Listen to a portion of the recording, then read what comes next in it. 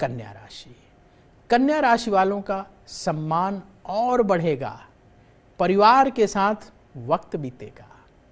आपका कोई भी काम आज रुकेगा नहीं।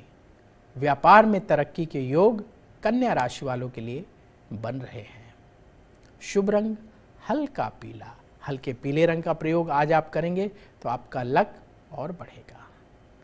अपने दिन को अच्छा बनाने के लिए कन्या राशि वाले पक्षियों को दाना खिलाएँ तो आपके लिए बहुत शुभ होगा।